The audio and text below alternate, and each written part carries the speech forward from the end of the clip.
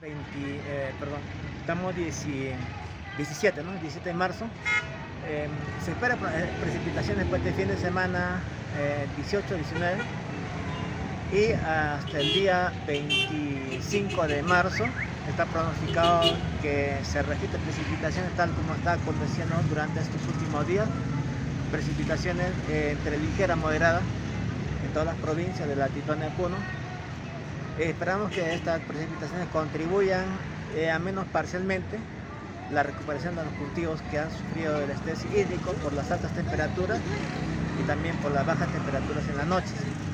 Entonces hasta el 25 están pronosticadas precipitaciones entre ligeras y moderadas en todas las provincias de la Latitud de Puno y a partir del día 26 al 31 de marzo hay una probabilidad de un 70% de que estas precipitaciones sean mayormente leves.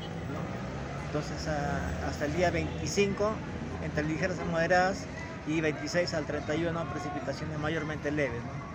Eh, entonces eh, la proyección hasta el, mes de abril probablemente se den precipitaciones hasta los primeros 10 días del mes de abril, precipitaciones mayormente leves y eh, probablemente hacia, hacia el 11 de abril más adelante se, están dando las primeras de la temporada también este año 2023. ¿En qué zonas o provincias con mayor frecuencia de?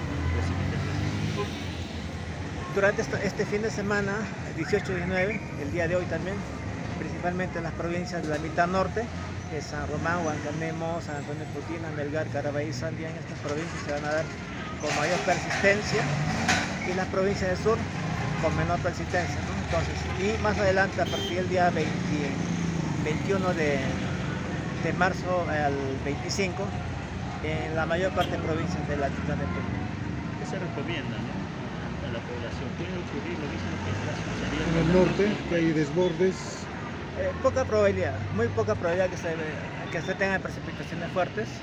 Mayormente van a ser leves, moderadas, no se esperan precipitaciones fuertes ya esa, esa, ese ciclón denominado Yaku ya se disipó, está desplazado hacia el, hacia el Océano Pacífico y no hay implicancia que, que repercuta en, la, en, que se tengan precipitaciones intensas en la costa norte y central, van, a ya van a disminuir de lo que se ha tenido hasta el día de hoy.